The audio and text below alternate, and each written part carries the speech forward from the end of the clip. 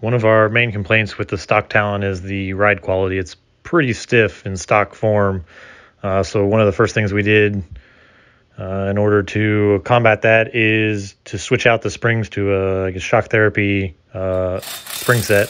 This is a pretty easy do it yourself that you can uh, do with just a spring compressor, um, coilover compressor from your local automotive shop. Uh, once you compress the coils, that allows you to get the stock clip that's in the bottom, uh, right above the eyelet, which allows you to remove the bottom spring plate, uh, slide the bottom spring plate off. Then you can loosen the coil compressor and allows you to slide the coils right off the uh, the coilover shaft, including the uh, crossover uh, slider.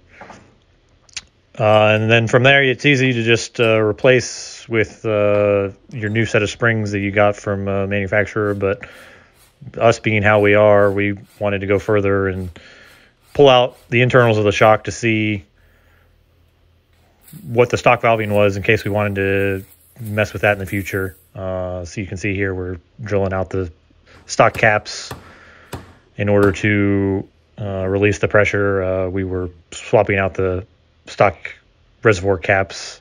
Uh, we actually have a video on how you can tap those yourself uh, if you so desire. Um, so that was sort of this was kind of part of that process.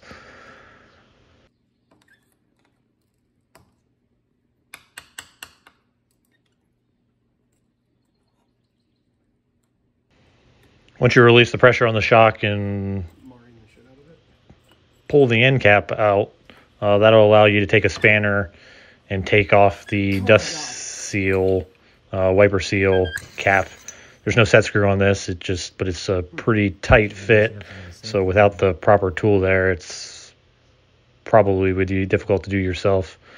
Uh, and here we found out that uh, if you don't have the clickers on the uh, shock reservoir set to all the way soft, it's pretty tough to push in the uh, bottom plug that's on the the shock shaft.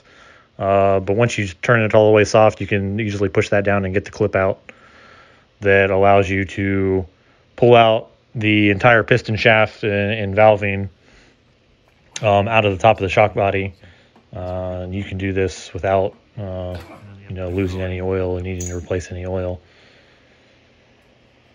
But uh, once you pull the shock sh- shaft out, uh, pretty similar to other ones we've seen. The only ones we've rebuilt before are King shocks. Uh, there's a spring in this, and the piston's a little different uh, design um, compared to the King shocks that I have on my pre-runner. But uh, there's just a locking nut holding on the uh, piston and the shim stack at the top, uh, top out washer.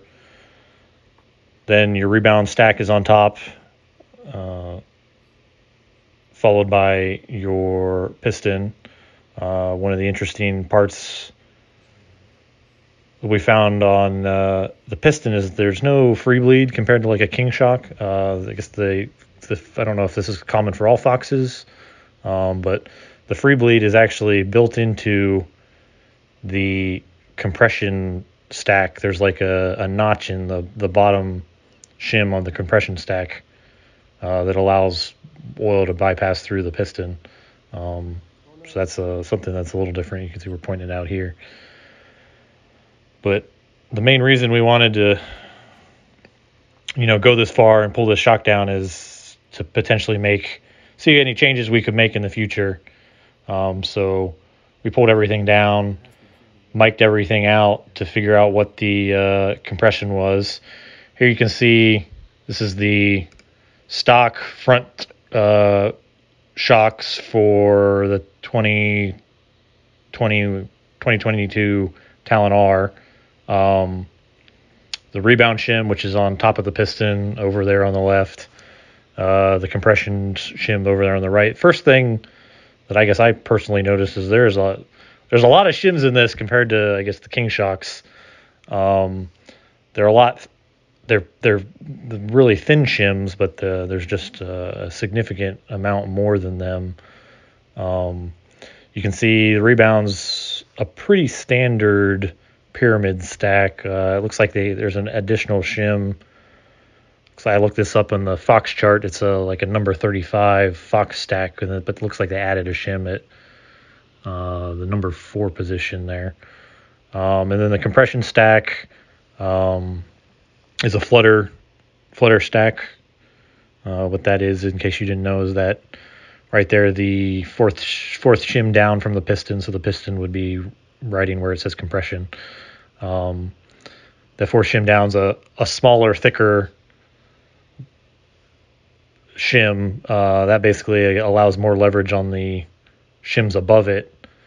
Uh, so it makes it a little softer in your low speed uh, while still having the top out capacity and the high speed. And that's a pretty pretty common thing to have in just a single coilover application from from our understanding on uh, you know other other off-road shocks like uh, that was how my original single coilover on the Ranger was as well as that's how the coilover we have on the the Jeep TJ is is a a flutter flutter stack uh, so that was not too surprising but then here's the shims on the rear of the vehicle.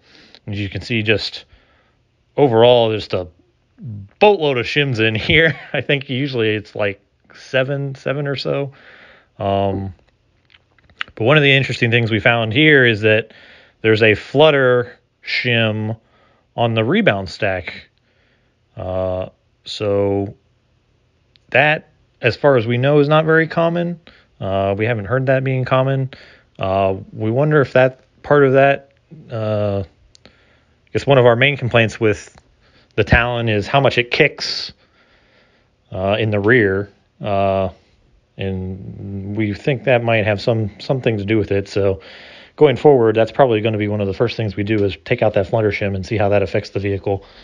But going forward, just uh, for the purpose of this video, we didn't change anything in the actual rebounding or the rebounder compression shims. We just wanted to, you know, get an idea on what it, our baseline we were working with here, and so we could potentially make changes in the future. And I guess if anybody else is curious, here's what the stock valving in a you know a Talon R looks like. So after checking out the valving, we put the springs back together with the new springs, and uh, I guess we did a few test shots just to see the difference. Uh, but then I guess we'll go through a, you know, a more thorough review here at the end of the video.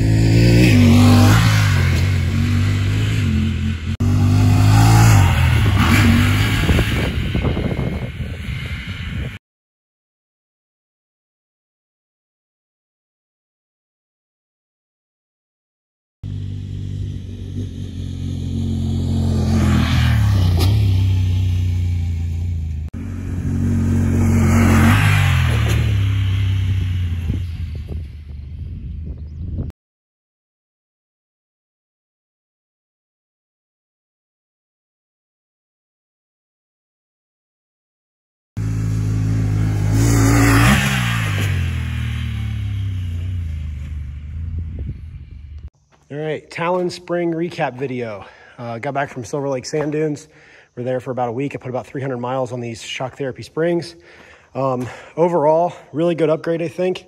Uh, definitely a lot lighter spring rates for sure, but uh, with tuning the crossovers, you can still get pretty good bottom out resistance. Uh, I was actually running this as well as a stock 2019 um, that we had recharged the shocks on, and everything being similar. Uh, this one with the shock therapy springs same compression settings and all that, same ride heights, uh, rode much more stable in the whoops, much more you know stable on the jumps. Uh, just doing a couple jump comparison videos, which I think we're going to include.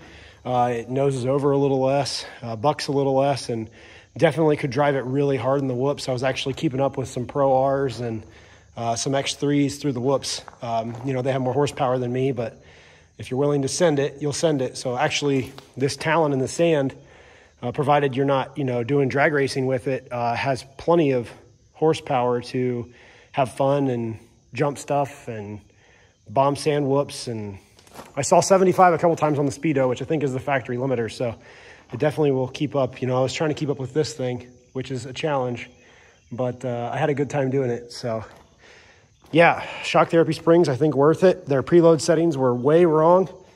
Uh, so I had to adjust that, but then they just, they're a guide. So, you know, depending on your rig and what you're going to do with it. Uh, I think when I put the shock, I think when I put the springs on, I think my ride height was at like 19 inches. It was like climbing into a, a lifted Jeep. It was ridiculous. So cranked it down and got the crossover set. And uh, next to come is some valving work on these shocks. Uh, I need to get a little more rebound control out of them, and I think we'll be okay. Thank you very much. Stay tuned.